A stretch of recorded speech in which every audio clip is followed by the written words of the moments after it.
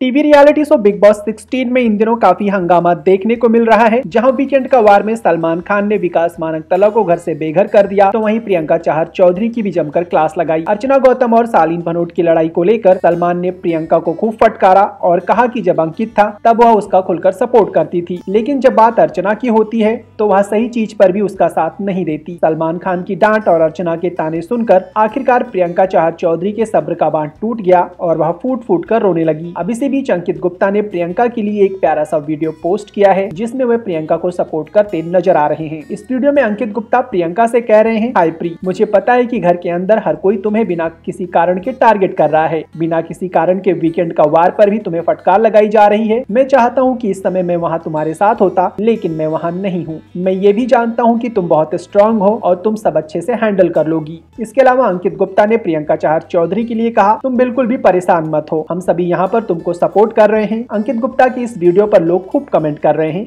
और अपना रिएक्शन दे रहे हैं अंकित के इस वीडियो पर एक यूजर ने कमेंट करते हुए लिखा हाँ आप बिल्कुल ठीक कह रहे हो हम सब प्रियंका की पलटन आपसे बहुत प्यार करते हैं तो वही दूसरे यूजर ने लिखा अंकित का प्रियंका के लिए यह संदेश बहुत ही प्यारा है वैसे इस स्टोरी पर आपका क्या है कहना हमें कमेंट के माध्यम से जरूर बताएं साथ ही अगर आपने चैनल सब्सक्राइब नहीं किया है तो अभी कर लीजिए और बिग बॉस सिक्सटीन से जुड़ी अपडेट्स लगातार पाने के लिए बेल आइकॉन प्रेस करना बिल्कुल ना भूलें